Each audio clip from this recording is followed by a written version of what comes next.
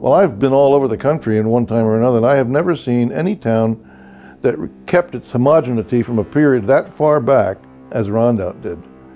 The architecture that was all torn down through urban renewal was mostly built pre and post Civil War. That's amazing.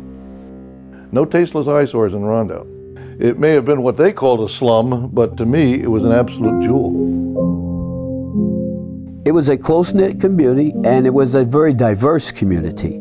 You know, we had blacks, we had Jews, we had Italians, uh, you name it, they were there. Uh, racism as such was not really an issue.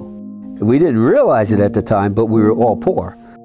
Everything was down there. They had cleaners, they had food stores, they had department stores, we had two banks. So we had everything run that. We didn't have to go uptown. By the early 1960s, Rondout, the waterfront district of Kingston, New York, had fallen on hard times. The city came up with a plan to tear down the old buildings and replace them with a shopping center and new housing projects. One of the theories at the, at the time was that mixed use buildings, residential and commercial, didn't work well. It created problems. People thought, okay, if you just wipe the slate clean and build beautiful new streets and parking and modern buildings, you're going to have a better society. Well, that was obviously the flawed foundations of urban renewal.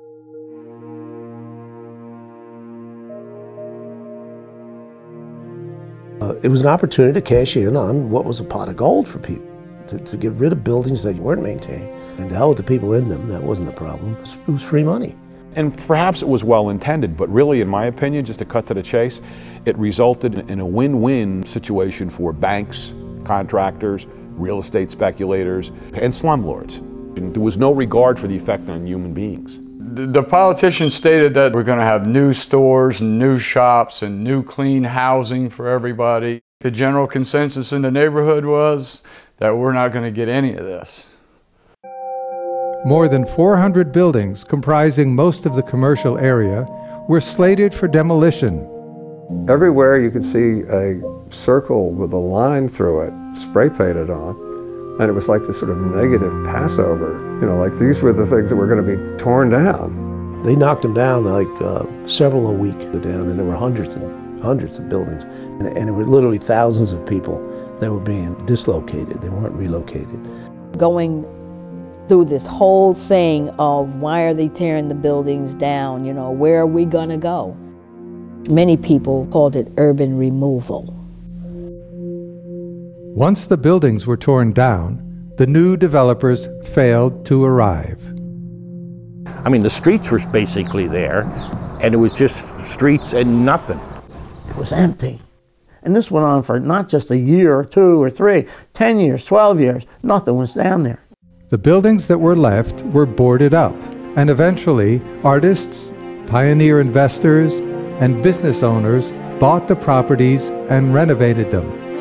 And I met numbers of people who had lived in the old part that was torn down, and they all were just, they were heartbroken.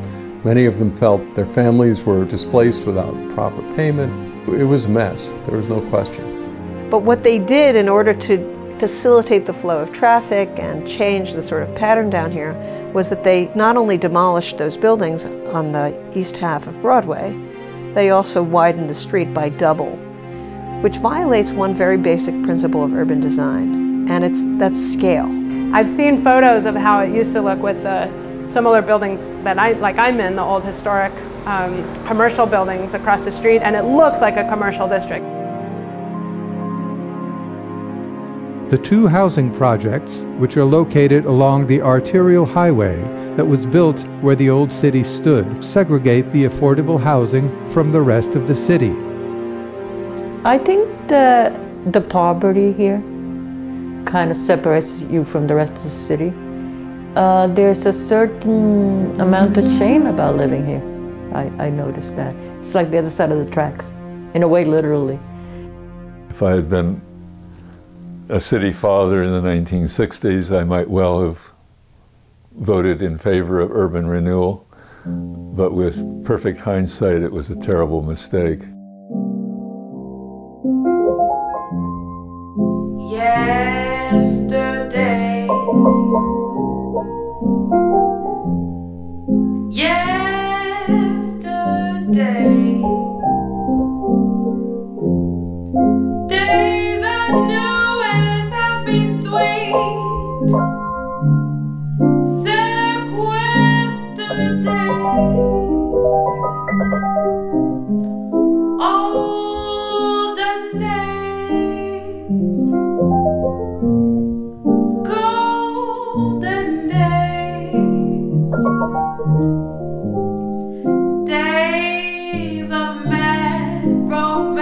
And love. Yeah.